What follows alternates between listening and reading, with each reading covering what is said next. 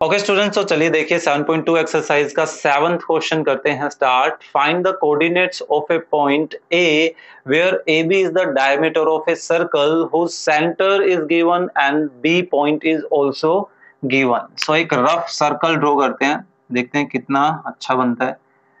हाँ ऑलमोस्ट काम चलाया जा सकता है है ना? तो so, देखिए अब इसका एक डायमीटर दिया गया है ए बी ए बी चलिए हमने एक डायमीटर ड्रॉ कर लिया that one is A and it is B अब देखिए बी पॉइंट भी हमें गिवन है वन फोर और ए कोऑर्डिनेट्स ही हमें फाइंड आउट करना है। अब जो सेंटर है, उस सेंटर को चलिए हम ओ बोल देते हैं और उस ओ के कोऑर्डिनेट भी हमें दिए गए हैं टू माइनस थ्री ठीक है? तो अब ये देखिए कि ऐसे में हमें ए के कोऑर्डिनेट्स को फाइंड आउट करना है। तो कैसे किया जाए? तो सबसे पहले तो हम यहाँ पर रेशियो की बात करते हैं। यहाँ रेशियो क्या होंगे?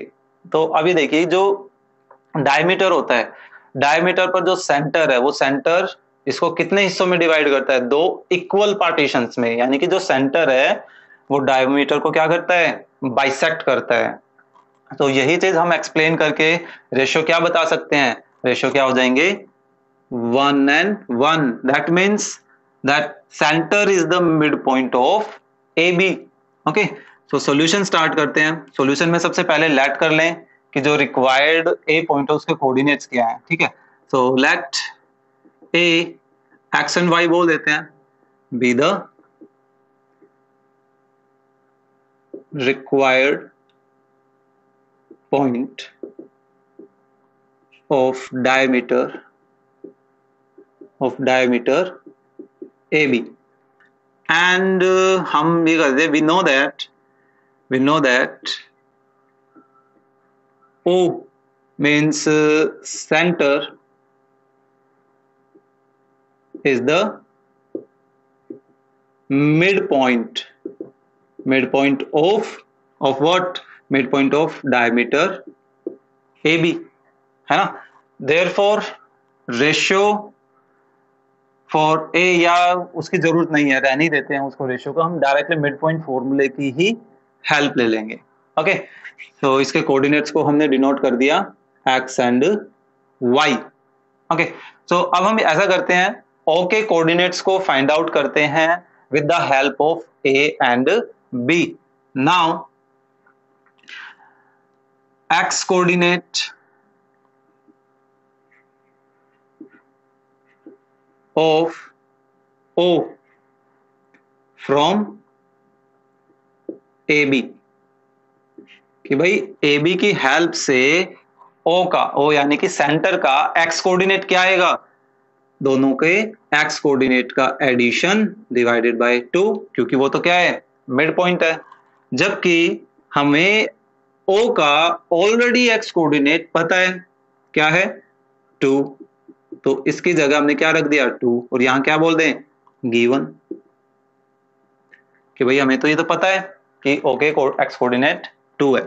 तो आराम से अब हम यहाँ से एक्स की वैल्यू निकाल सकते हैं। देखिए, दो, चार एक्स प्लस वन वन इधर आकर क्या करेगा? सब ट्रैक करेगा। तो एक्स की वैल्यू कितनी आ गई? थ्री आ गई।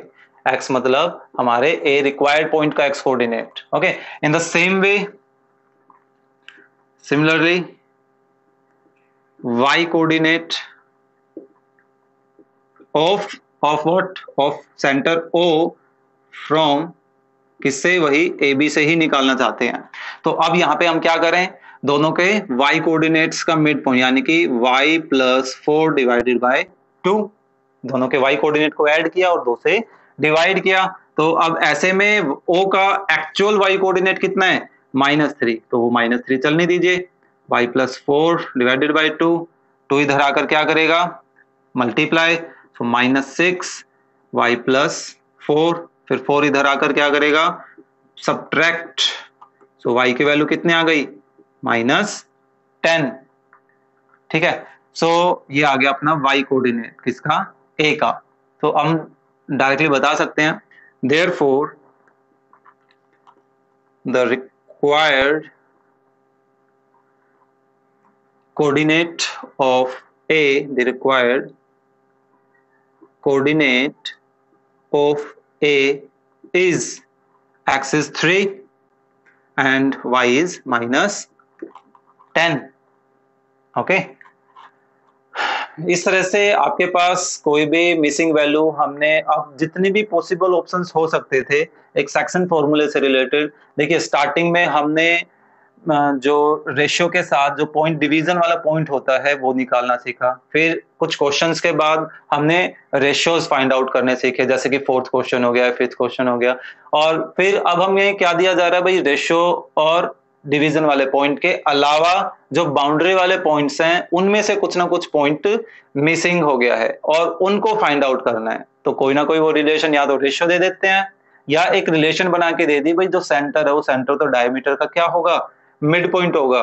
तो यानी कि कहीं ना कहीं से हमें कोई हिंट ज़रूर मिल जाएगा। तो जो फॉर्मूला होता है, जैसे एक्स कोऑर्डिनेट का जो फॉर्मूला है m one x two plus m two x one divided by m one plus m two इस पूरी रिलेशन को अगर आप ऑब्ज़र्व करें तो टोटल हमारे पास पाँच डिफरेंट क्वांटिटीज हैं। कौन कौन सी? एम वन एम टू दो हो गई। X one x two four हो गई। और ये एक्स यानी कि टोटल फाइव ऑब्जर्वेशन इन फाइव में से अगर कोई भी फोर ऑब्जर्वेशन हमें दे दी जाती है तो ऑटोमेटिकली हम शिफ्ट करके, हम इतने केपेबल हो चुके हैं कि शिफ्टिंग वगैरह करके आराम से उस फिफ्थ क्वांटिटी को निकाला जा सकता है। ठीक है? तो उसी पर बेस्ड हमें क्वेश्चंस बनाकर दिए जाते हैं डिफरेंट डिफरेंट सिचुएशंस के साथ। ठीक है? तो आई थिंक अब तक हम जितनी पॉसिबल ऑप्शंस हो सकते थे, वो सारे करके देख चुके हैं।